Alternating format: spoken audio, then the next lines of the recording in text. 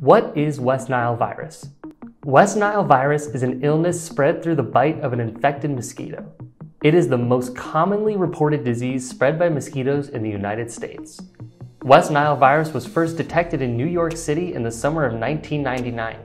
Cases of West Nile occur every year during mosquito season, which lasts from May through October. West Nile virus can cause severe disease, resulting in long-term health issues or even death.